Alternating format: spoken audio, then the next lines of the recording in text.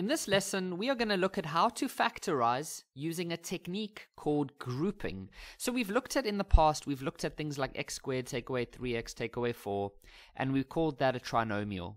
And we've looked at how to factorize that. We've looked at things like this, where we have a difference of squares, and we've learned how to factorize that. But now we're going to look at four terms. So for example, x4 well, no, it doesn't have to be a 4. Um, for example, you could have like um, x3 plus x plus, um, you know, like 2x squared plus 4 or something like that.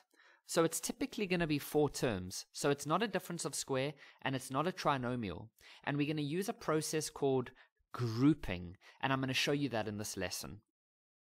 So here's our first example. So what you do, you realize that there's four terms.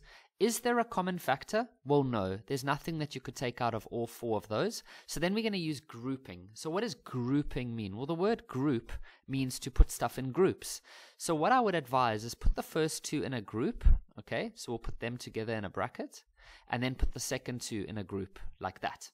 Then I want you to factorize that first group. So you see there's a common factor of 3 and then this one has a P3 and this one has a P2. So you could take out a P2. Then what would you be left with? Well, you'd be left with 3P over there, plus, and then 1. Okay, now you do the next group. So the next group, you could take out a 5, and then what would you be left with? Well, you'd be left with a 3P plus 1. Now, if these two are, are the same, then you have grouped correctly. If they are not the same, then you have to group it in a different way. Then you might have to group these two together and those two together. Or maybe you need to group, yeah, I mean, that's the only other option. Or maybe these two together and those two together. So you got to keep going until you can make these two brackets the same. If they're the same, then you've done the correct grouping. So what you do in the next step now is you realize that this is common in both. So you take that out as a common factor. And then what would you be left with? Well, in the first part, you'd be left with 3p squared. And in the second part, you'd be left with a 5. And there's your answer. Here's our next example. So I always like to start by just grouping the first two, and then I group the second two. So for the first two, there's definitely a common factor of 4, and then here there's a v3, and here there's a v2. So we can definitely take out a v2. And so what we'd be left with is over here you'd be left with a v, and over here you'd be left with 4. Then for the next part, you can take out a common factor of 3,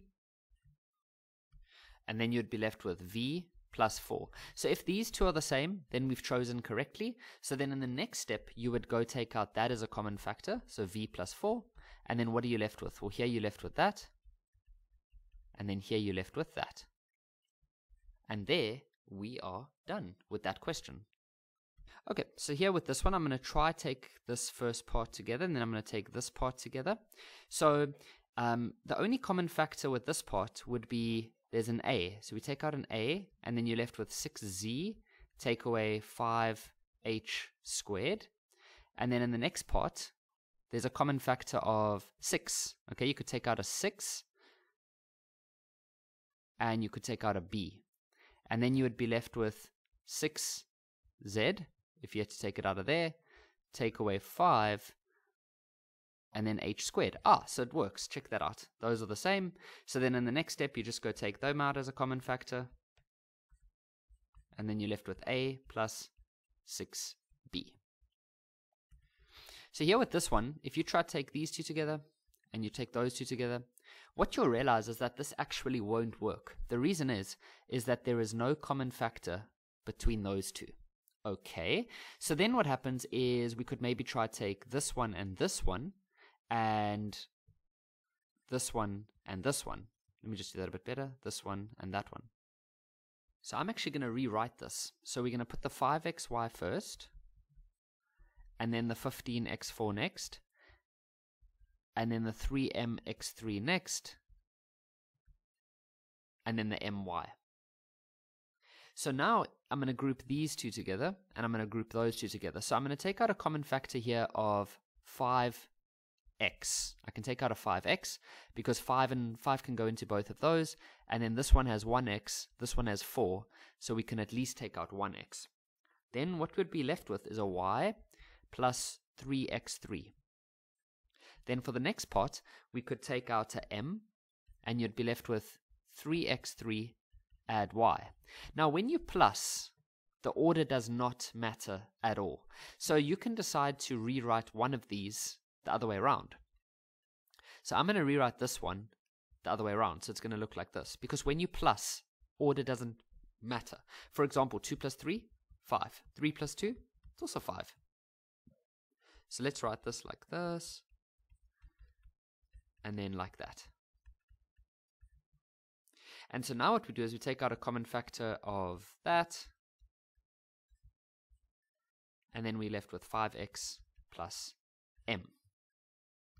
Here's our next example. So straight away, I would not group these two together because there is nothing common there. You can't take out a common number. There's no common letters. It's just not going to work. So I would then go for those two, and then I'd go for those two. And so I'm going to rewrite everything so long. So 20xy, take away 12xr. Then I'm going to put the um, this one first, and then the 3r squared. I just don't like having a random negative like that.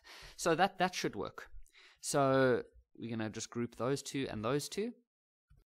Okay, so if we take out a common factor over here, what number can go into 12 and 20? Uh, the number 4. And then this one has 1x and this one has 1x, so we could definitely take out that. And that's it. So we would be left with a 5y, take away 3r. Okay, now in this next one, there's no number that can be taken out, but we can take out an R. Oh, no, not a Y. We could take out, there's one R there and there's two there, so we could definitely take out one. And then you'd be left with 5Y, take away 3R. Ah, look at that. It's the same. And so then you can take that out in the front as a common factor, and then you'd be left with 4X, add R.